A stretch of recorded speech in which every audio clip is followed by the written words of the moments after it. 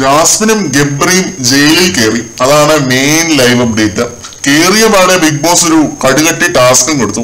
ചപ്പാത്തി കുഴച്ച് അത് പരത്താനാണ് ബിഗ് ബോസ് കൊടുത്ത ടാസ്ക് അതാണ് അവരുടെ ഡിന്നർ എല്ലാവരുടെയും.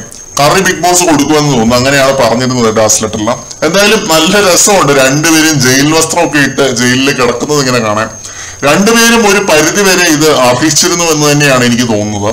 പ്രേക്ഷകരെ നിരന്തരം പൊട്ടന്മാരും വിഡ്ഢികളും ആക്കുന്നതിന് ശിക്ഷ അവിടെ ഉള്ളവരെ ജബ്രികൾക്ക് കൊടുത്തു. അതിലൊരു അതിശോക്തിയുമില്ല പിന്നെ ഇവർ രണ്ടുപേരും ജയിലിൽ നിന്ന് പുറത്തുള്ള പോലെ അല്ല ജയിലിനകത്ത് കയറിയപ്പോ.